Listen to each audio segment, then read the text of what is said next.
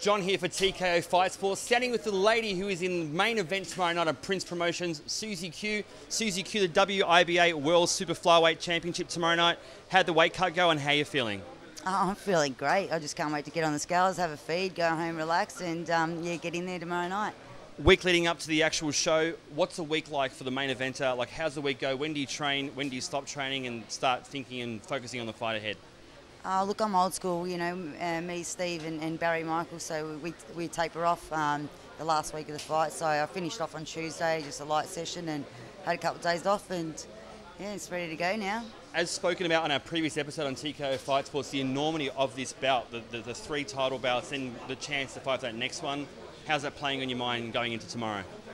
Yeah, I mean, look, this is massive. Um, you know, like like I've said to you previously, um, that you know, fighting for a different weight, my third weight division is going to be huge for um, Australian boxing. So I'm just really excited, and um, I'm pretty confident. You know, I've trained really well, and I'm ready to go mentally and physically. I'm ready to go and win that title. Well, I hope the next time we speak, the straps are around your waist, and we're having an interview after the fight after a big KO win. Yeah, that'll definitely look better on camera. Susie Q, thank you, and best of luck on tomorrow night. Thank you very much.